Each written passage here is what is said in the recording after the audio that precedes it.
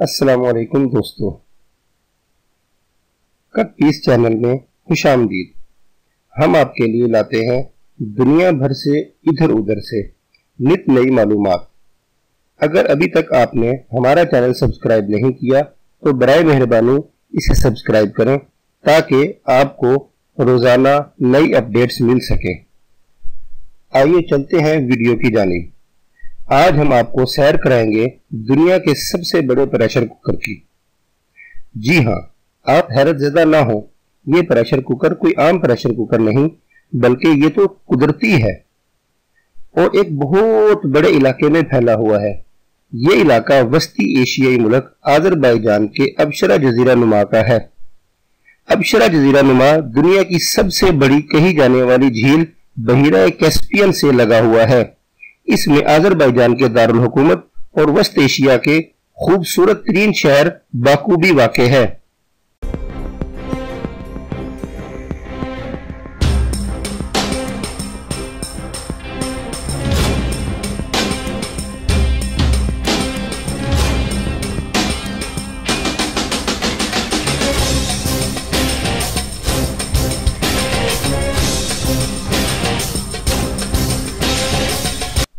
Baku کے اچیری علاقے میں طرح طرح کے ریستوران ہیں۔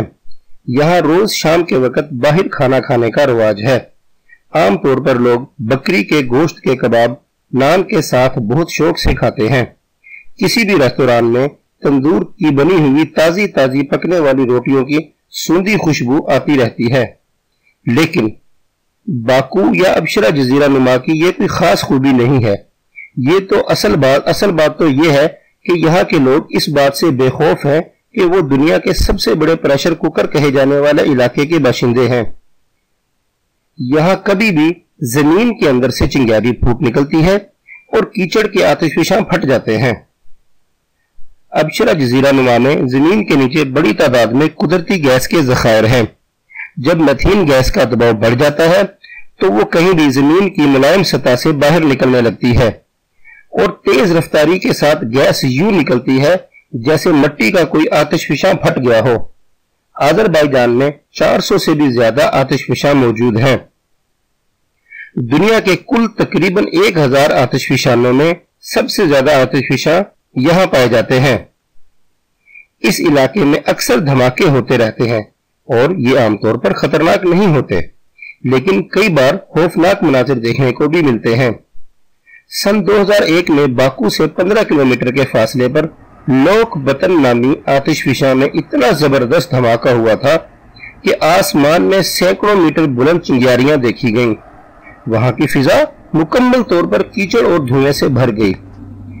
ایک اور دھماکہ سترہ فروری دو ہزار سترہ کو بھی ہوا تھا۔ پورے علاقے کا یہی حال ہے۔ کبھی بھی، کہیں بھی، کسی بھی وقت گیس نکلنے سے دھماکہ ہو سکتا ہے اور آگ لگ سکتی ہے، لیکن پھر بھی اس علاقے میں ہزاروں لوگ آباد ہیں۔ باکو سے تقریباً چونسٹھ کلومیٹر کے فاصلے پر واقع Kohistan rock art culture landscape اس کی ایک مثال ہے۔ یہ یونیسکو کے عالمی ورثے کی فہرست میں بھی شامل ہے۔ یہاں آپ پتھروں پر کنندہ پینٹنگز بھی دیکھ سکتے ہیں۔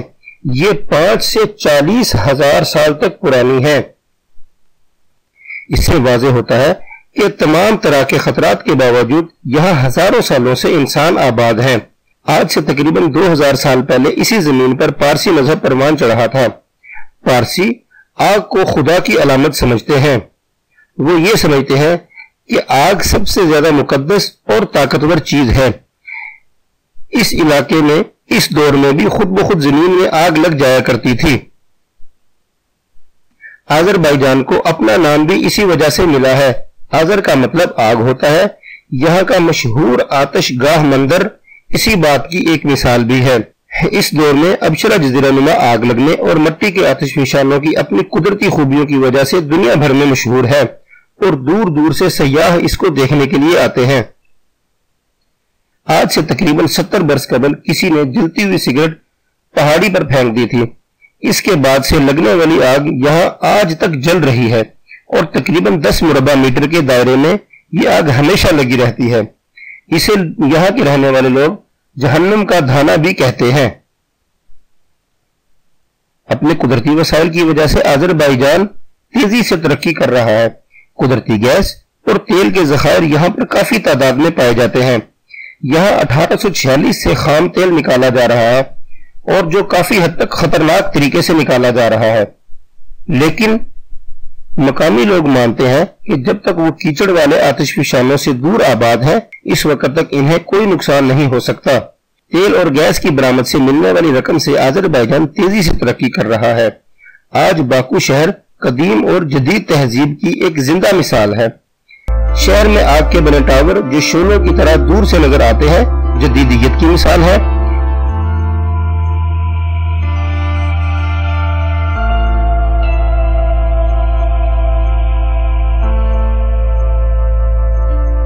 جبکہ اسی کے آس پاس واقع پرانی عمارتیں آذربائیجان کی قدیم ثقافت اور روایت کی گواہی دیتی ہیں۔